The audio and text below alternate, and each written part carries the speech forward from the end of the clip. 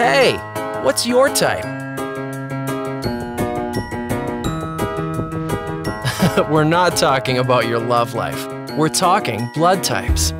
There are eight blood types, and all of them save lives, but four of them are the most needed.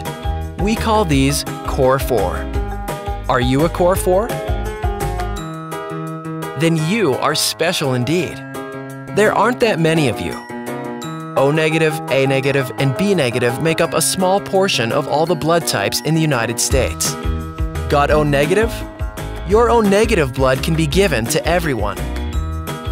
Imagine a trauma situation where there isn't time to determine the recipient's blood type. O negative to the rescue. And then there is O positive, also a core 4 type. Making up 38% of the total population, O positive can be safely given to 85% of all patients. So, if you're a core 4, share it. It's easy. Just roll up your sleeve and give one of two ways a traditional whole blood donation, or if you are the right height and weight, try the high tech way and save two lives with one donation. So go ahead and donate, and donate often. You don't know whose life you'll be saving, but if you're a core 4, one thing is sure you're just the type to do it.